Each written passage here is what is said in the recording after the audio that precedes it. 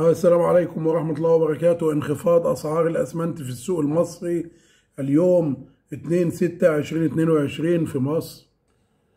سجل الأسمنت المسلح 1170 جنيه في الطن كما سجل أسمنت النص 1150 جنيه للطن أسمنت قنا 1150 جنيه للطن والعسكري 1145 جنيه للطن.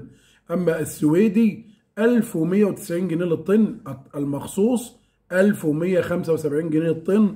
وادي النيل 1165 للطن.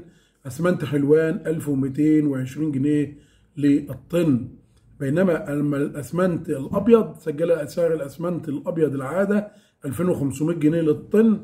أسمنت اللي هو السوبر الأبيض 2450 أسمنت رويال 2380 اما رويال العادة 2430 اما أسمنت حلوان المنيا الواح الأبيض بلغ سعره 2420 للطن أما الأسمنت المخلوط الأسمنت المخلوط بتاع التشطيبات 980 جنيه للطن أسمنت آية 1 900 جنيه للطن أسمنت النخيل 850 جنيه للطن.